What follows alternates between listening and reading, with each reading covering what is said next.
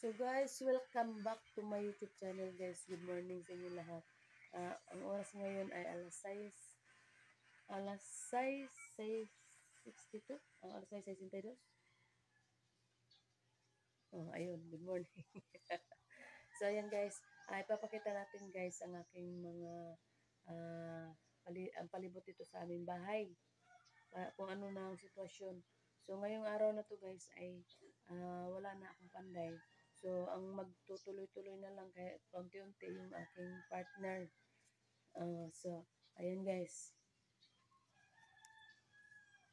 So, pasensya na guys kung hindi ako nakapag vlog kahapon gawa ng ano kahit ah, may ginagawa rin tayo. So, ayan guys, ah, ito yung kusina namin guys, nabuo na rin. Ayan. So, yung aming ano dito sa Ingan, babalbagin na yan namin ngayon. Ah, babalbagin namin yan at doon na kami sa labas magsasaing. Doon gagawa gagawa yung partner ko ng kunting kus maliit na kusina doon para hindi tayo magkaroon ng usok dito sa loob at hindi mangitim yung dingding.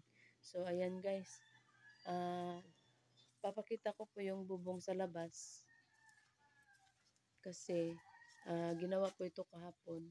Umuun lakas nga ng ulan guys. Tapos, nawa nga ako sa panday kasi ah, nasugatan siya dun sa yero. Pagbaba niya siguro yun. Kasi madulas yung yero eh. Ayan. So, ito yung dingding namin ng ano. ah, ito, temporaring ano lang to. Tinapal namin dyan sa bintana tatanggalin din ito para hindi naman ano. So ipupurma na na siya ng ano ng bintana. Eh, kung may matira na plywood, siguro plywood na lang muna ang ilalagay namin na ano ah, bintana. So ayan guys. So lalabas ako.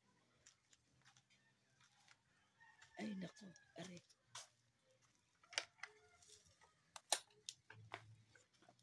So, ito yung aking partner. Ah, siya na lang magtutuloy-tuloy muna siguro. Kung ano yung mailagay niya, di ilalagay niya. So, ngayon maglalagay yata siya ng ah, doon sa ano, dito sa harap ng aming ano, balkon. Maglalagay siya ng ah, lagayan ng aking mga santos. Ayan. So, nalagyan na siya ng bubong guys kahapon. Ayan. Hmm. So, ayan guys, ayan guys. Ah, yun yung ano natin kasi yung panday, wala na tayong panday muna kasi kumbaga wala naman din silang maano na gagawin, gaanong gagawin kasi yun nga, yung materyales ah, na ubos sa ubos na rin. So, may natira dito. Siguro yung asawa ko na lang din ang magtutuloy kasi wala na tayong budget kasi sobra talagang mahal ang mga gamit guys. Kung hindi lang siguro siguro ito na ano ha, nalaparan ng pagkagawa siguro ah, matatapos ah, maganda na rin siguro ang ano na siguro nakapag uh, jealousy ako, nakapag mapatiles ko pa yung ano kaso lang nalakihan kasi sobrahan ng laki. Nalaparan siya guys. La ang lapad kasi ng bahay. So sobra yata sa kalahati yung nadagdag na lapad kaya ganun. So ayan. Ah shout out kang Mama Rebella Peace. At pakisubscribe po ang kanyang channel Shellfish Bella. Ah napakabait na tao po yan so ano ko yung tanim ayan. Nakakatuwa yung ano niya, yung kanyang ah, content kasi maganda naman po ang ano niya kasi nali, nalilibang tayo sa kanyang content guys ni Shellfish Bella kasi puro mga ano, mga shells, tapos yung mga crabs. Ayan, so dito ikot tayo guys. Dito kasi ako maglalagay ng ano guys, ah, palalagyan ko ito ng ano, saingan. Dito na kami magsasaing para hindi na sa loob para hindi na tayo ma magkaitim-itim ang bubong. So, yung kubeta namin guys, tatanggalin yung ano, yero niya. Kasi kumbaga sinakop na ng bubong sa kusina ang bubungan ng ano, ng kubeta. So ayan guys. So ngayon guys, ang gagawin ko ay ah, aayusin ko yung mga gamit. Wala naman ano panday. So ah, gagawin ko na lilinisin ko na muna para ma-plaster ko yung mga gamit.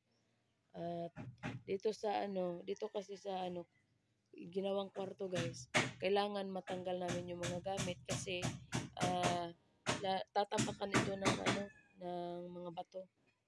Tatambakan siya ng bato para maporma na siya para pag nabalbag yan, di pa kasi nabalbag yan guys kasi yun nga ah, kailangan bago siya balbagin, tatanggalin mo na yung mga gamit dito.